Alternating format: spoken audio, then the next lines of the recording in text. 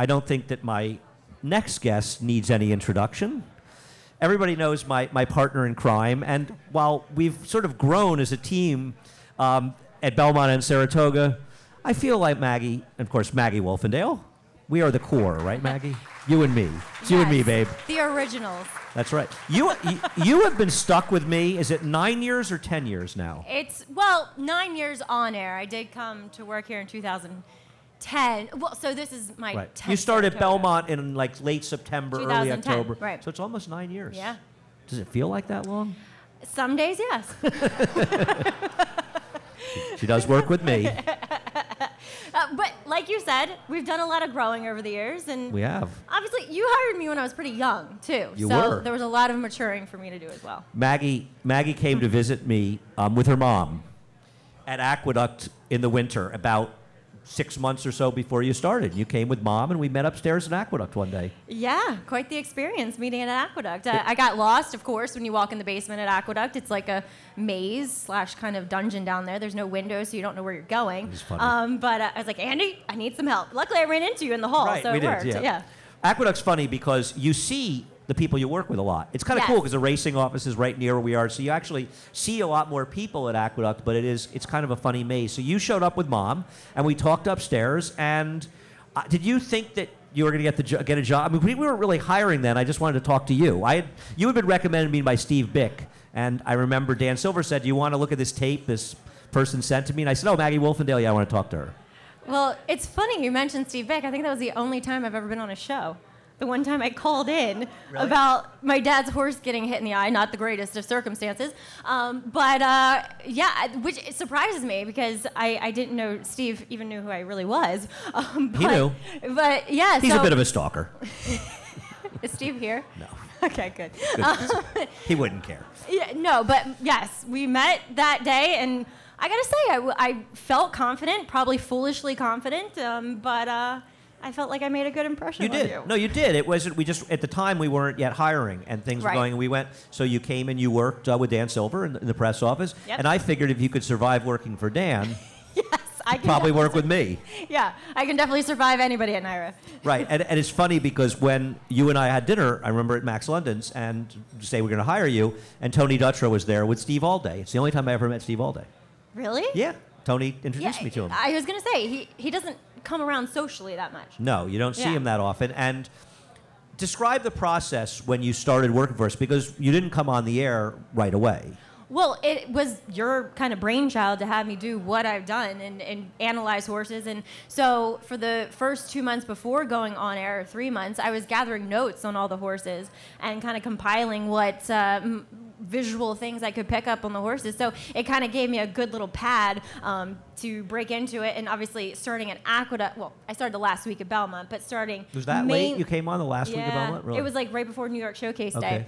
And uh, obviously, getting your feet wet at Aqueduct's a little bit less intimidating than, than starting up here, for instance. And so, i i what I've always wondered about something, you've been doing this job, and I, in my opinion, I imagine a lot of people here would agree, uh, nobody comes close to doing as well as you do in that job.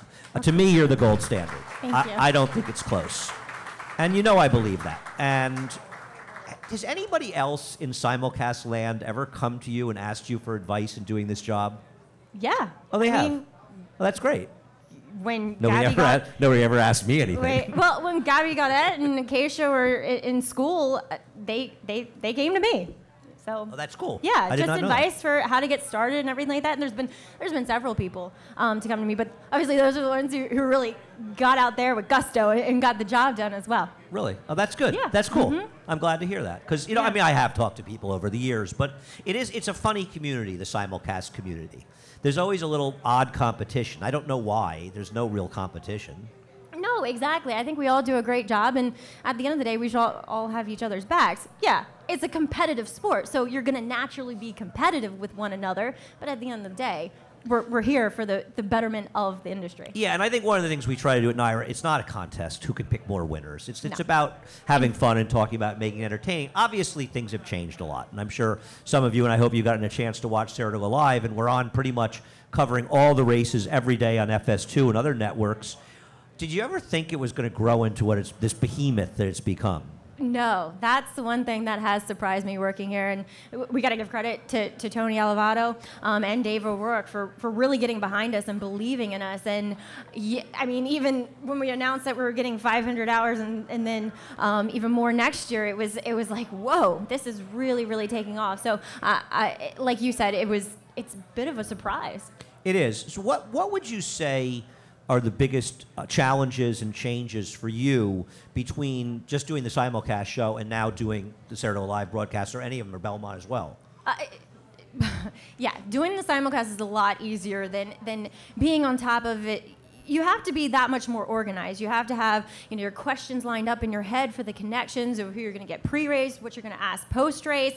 You have to be on a, top of what's coming up down the line later that day as far as connections having horses in. It's just it is a lot more prep work um, other than what I normally had done looking at pedigrees and so on and so forth, and looking at my notes. So it's it is a lot more work, but it's that much more rewarding as well.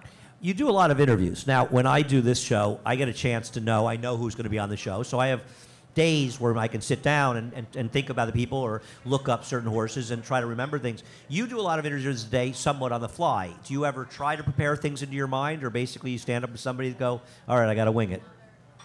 50 50. Yeah.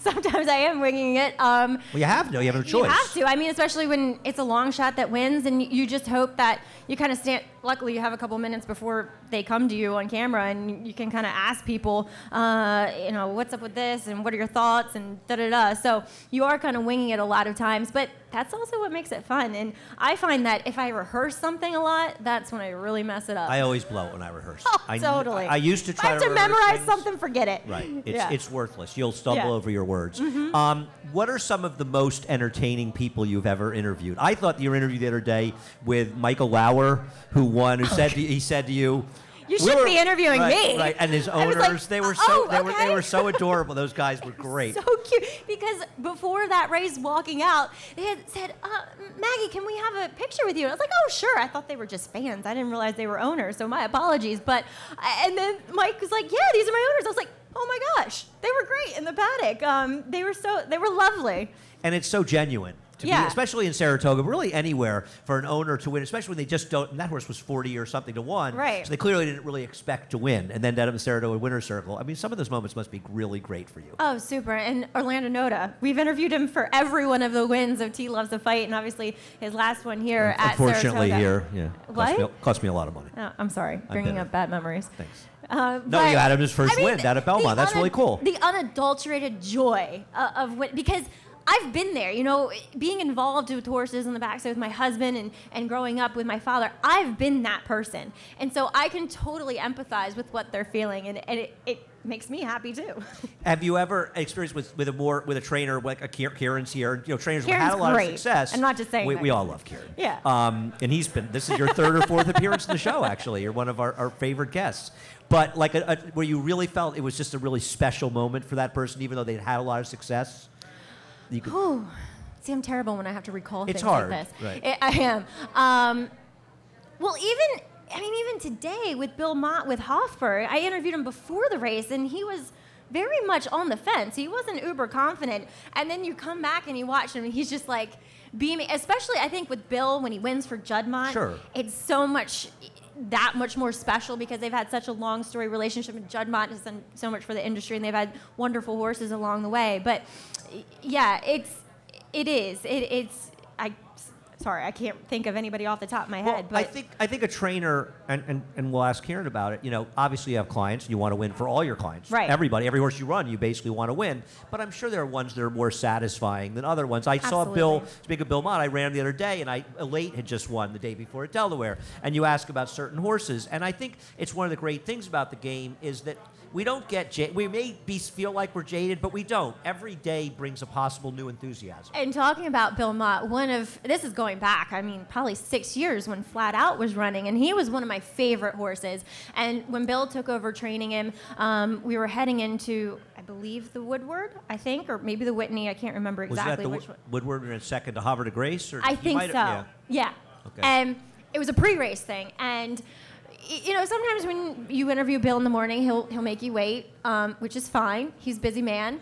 But he looked at me and he said, "You know what? Wait a minute. Wait a minute." He's like, "Come with me. Come with me." And I'm like, "Okay." And I was, like I said, this was a while ago. So he said, "Come on. I want you to meet Flat Out." He brought me in the stall with Flat Out, and I was just like, ah, you know, it's just it was really really cool because he was one of my favorite horses. He was a um, that super cool horse, Yeah, Flat Out. he really was, and so that was a really cool experience with Bill. Yeah, that, it's great. I mean, those parts of the game are great. Now, you're obviously in the stable because your husband, Tom Morley, trains. What is your role, official or unofficial, in the stable? Exercise rider, assistant trainer, whatever, babysitter? Correct. Whatever I need to be, I'll get a call at 5:30 in the morning. Uh, so and so didn't show up. Can you come get on a few? Okay. You know, I'm not as fit as I once was, so it's that much more Who tough to kidding? gallop horses. Um, so, but I mean, in New Orleans.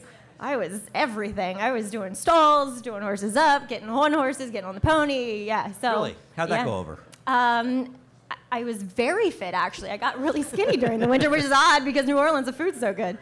And by the way, speaking of, I haven't asked, how's Grace, your daughter? Maggie has a, she old, she's about two and three quarters now? Yeah, you're good at your math. Um, she's I was discussing with mom the other day. We were Yeah, she is excellent. She's an amazing little girl, and uh, I'm really proud to be her mom. Yeah, we sort of had our first conversation, Grace and I. I thought we, we had a little conversation at the Clement House recently. She she is forming her sentences. She's a little social butterfly. Yeah. Yeah, that was the first time I hit on her, so Yeah, oh Jesus, good. we'll end that right Um, now. so, um, you know, it's a. We'll, talk a little bit about the conflict with, with Tom, your husband, and his horses, because it, it infuriates me almost as much as you. This notion that you, you know, you withhold information, wouldn't tell. You're sort of damned if you do and damned if you don't. Thank you. Words out of my mouth.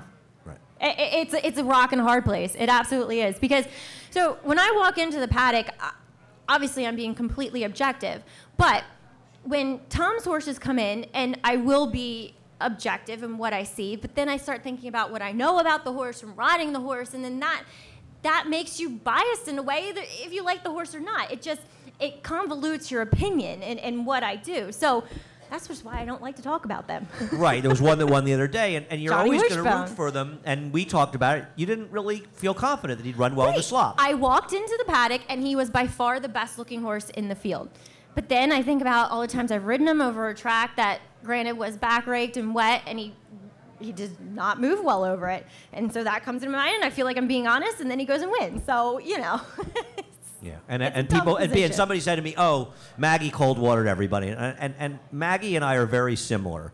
The two of us never, if we give a have a smart opinion, we want the whole world to know. And- Exactly, right. So you would never withhold an opinion because you want to look good. right? So- I mean, I told everybody I thought bad. he looked best, but then uh, you know, th- that's why I don't like to talk about Tom's horses because I let other things influence me. So last summer, we I would say Maggie was having her worst day of the summer. It was I had a rough it was summer a, it was last a, year. you were, it was a Saturday and you were in a terrible mood all day. We were on TV probably for like 4 hours and Tom was running Tom was at Arlington. And Tom was running Car- Carrick? Yeah. Carrick and the Secretariat where he was like a million to 1. He was 38 to one, Andy. It's a pretty big price. Okay, fair. And it was a grade one, and he wins. I've never seen a mood change more quickly. You came running across the paddock towards the studio. That was great. No, it was great. I was laughing. I said, well, it took, it took Tom winning with a 38 to 1 shot in a grade one to get Maggie in a better mood. Well, those things happen when that. But that must have been, that must have been excited. Did you call Tom like Yeah, right away? I mean, Harry's standing in the back of the room. I think he still has a sore neck from me just jumping and hugging him. Um, so yeah, Tom wasn't there. He was here. He Oh, he was, was at. here. He, I would think it was Why didn't Harry go? Because you didn't I ask make him? him stay here. Really? Yeah. Um, no. he, um, Harry Rice is Maggie's personal assistant. Yeah. He, he's a PA that works for us, but I, it actually stands for Maggie's personal assistant. Correct. Does he babysit Grace? Yep. How often? Uh, today. What does he charge? Because he could probably get some. free. I feed him. I let Harry, him stay you on could my probably sofa. make some money in town. You know, you could probably do much better than Maggie's paying. yes. Anything would be better than what I'm paying. I, I think it's really unfair how you treat Harry. And of course, have you gone away a couple years ago? Yep. Do you guys have any two-year-olds you're excited about? Nope. No. No. I, we don't. Okay. I mean- are, the, are all the horses in Tom's barn bad? Okay, Xanthique got a really rough trip the other day. Xanthique is- that was a great she's claim okay. that was a great claim She's okay, and the two-year-olds they they're just all kind of backwards types. I, if we run one, it's not going to win up here. Maybe when we get back to Belmont. Uh oh. I can see Good Tom. thing wait- Tom went home. Really? Well, you were out with owners tonight. So do you have to do a lot of that too, like the schmoozing up here? yes, but they're they're a lovely group. So uh, it was my pleasure to go have dinner with them before coming here. But it's a lot. I mean, It is a lot. Like your day. What time do you get up on most days? Because you got to be at our meetings, and you're always in the meetings at ten I'm or ten five thirty-six. Oof. People get up I at know, five thirty or six. Yeah. Kiaran doesn't get up at five thirty or six. Yeah, I mean, obviously, if I meet needed at the barn, it's a little bit earlier. If Grace wakes up early, then I'm at her beck and call. So I have a question. What if you hadn't gone to work in racing? What would you have done? Uh, I'd, I'd be broke. correct. I would probably be struggling. I still work with horses. Okay. I, I can't imagine. Did you ride like? Could you see yourself doing like dressage? Yes, that's probably what I have been doing. I, I probably would have managed a show barn or something like that. So it was going to be horses or nothing. Correct. We really haven't known. I mean, your father was a trainer. How Mm-hmm. early did you start working around the horses for your dad? I mean, I, well, I got my first pony when I was two. Um, and I started walking hots when I was 12. Not- Not supposed to do that. But um, then as soon as I could get my exercise rider license at, at 16, I, I started galloping. Do you still have to gallop for your dad when you go home? Nope. I put I an end to that. Dad's very nearing retirement, so there's not many horses to get on. Because I remember you said when you were first work, working together, you said about going home, he would get you up at five Oh, in the yeah. morning to make you gallop. Yeah, yeah. And i his horses were very uh, energetic, to put it lightly. So um, the horses I was get, when I first came up here, I was working for Leah Gyarmati, so her horses were a lot easier than my father's. So, do you love it still? Getting on horses? The whole thing, horse racing, working with us, Absolutely. doing Are you stuff. kidding me? It's it fun, gets better and better. It does. It gets better and better working with you, Maggie. Thank you you. so much for joining us. Make me Maggie tear up. Wolfendale.